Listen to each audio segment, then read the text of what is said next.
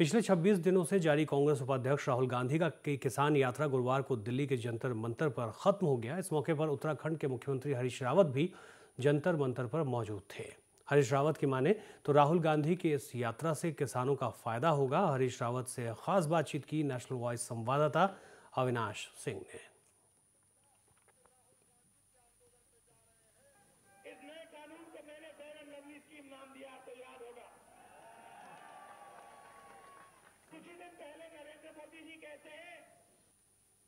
मेरठ से लेकर दिल्ली तक राहुल गांधी का रोड शो निकला, जहाँ पर जगह जगह राहुल गांधी का जोरदार स्वागत किया गया। इस पूरे रोड शो के दौरान जो कांग्रेस के वरिष्ठ नेता थे, वो भी राहुल गांधी के साथ मौजूद थे। सर, जो यात्रा निकाली गई है किसान यात्रा, आपको क्या लगता है कि यूपी चुनाव में इस यात्रा से कितना लाभ मिलने वाला है कांग्रेस को? इसका पूरे देश में लाभ मिलेगा और सबसे बड़ी बात है, किसान को और खेती को लाभ मिलेगा। पिछले दो सालों में जो खेती का एजेंडा है, जो किसान का एजेंडा है, वो पीछे चला गया।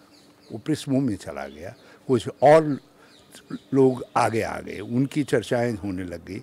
लेकिन जिसकी चर्चा होनी चाहिए थी, जो किसान हमारा बैकबोन है, उसकी चर्चा गायब हो गई।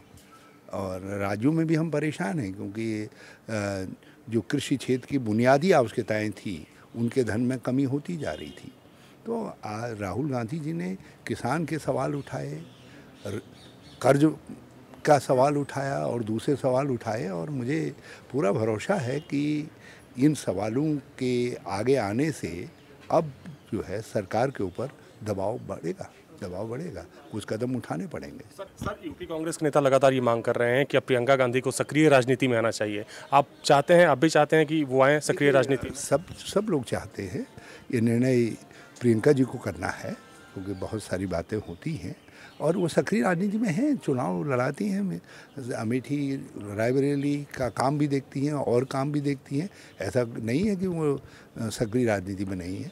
सर आप चुनाव प्रचार करेंगे यूपी में? अब निश्चित तौर पर करेंगे। यूपी तो दिल है देश का।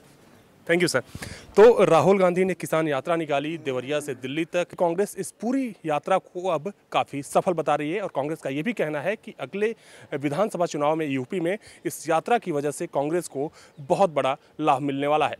कैमरामैन सुरेंद्र रावत के साथ अविनाश सिंह, नेशनल वॉयस, दिल्ली। चैन